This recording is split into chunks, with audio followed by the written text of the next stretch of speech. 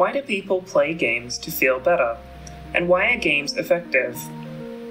As our study demonstrates, one reason is that play can be an effective way to satisfy basic needs when they've been frustrated in daily life. We ran an experimental study grounded in self determination theory to test video games' restorative qualities. Participants were randomly put into autonomy supported or controlled conditions, where they played different versions of a Tangram game. The controlling version of this game basically required players to follow prompts to complete the puzzles. Afterwards, both groups played Spore, the 2008 life simulator from Maxis, whose game designs have been touted by SDT scholars as particularly autonomy supportive. Afterwards, I interviewed participants about their day to day experiences with games, focusing on experiences of autonomy and well being. Today, I'm mostly going to talk about those interviews.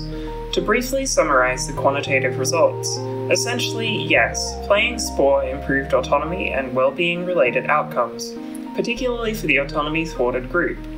And across the sample, need satisfaction and frustration were generally linked to positive and negative outcomes. Of course, you can check the paper for all the details. During interviews, people talked about feeling so stressed about in game choices that they felt they had to quit.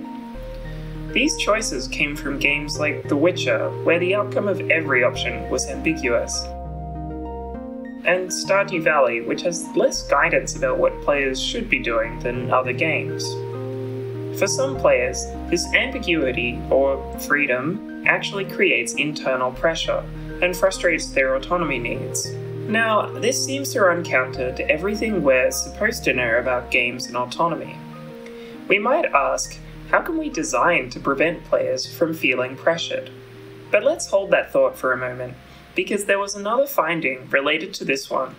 During interviews, I asked people when they thought in game choices were most interesting and why. The variety of responses to this question was surprising. For some people, it's pure power fantasy save the galaxy, make big and important decisions, and so on.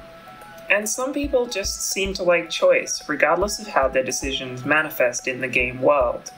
There's a sense that being given options signals that the game is yielding in some way, accommodating a human player, and maybe making it easier for players to accommodate aspects of the game and a couple of people cared mostly about the relationship between in game choices and the outside world, to see play as a means to think in new ways about daily life.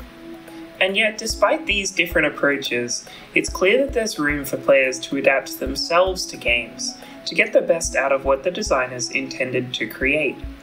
When players can't or won't renegotiate their own ideas for how to play, when they can't make a choice because they're not sure they'll like the outcome, or when they won't make an effort to figure out which systems they want to engage with, it stops being a game design problem, or even a problem that game design could fix. The other part of these interviews focus more on games and well being in daily life. People know that games can make them feel better, but I was particularly interested in how people think about their relationship with games when used in this way.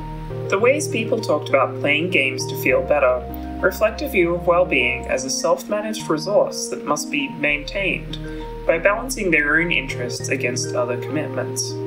It's worth saying that there's not much in self determination theory that really supports this way of thinking. In the theory, well being is essentially about striving towards improvement greater self integration, and reflective awareness of the outside world. But sometimes that's not really possible. We can't always be striving for these lofty goals in the pursuit of a well lived life as SDT views it.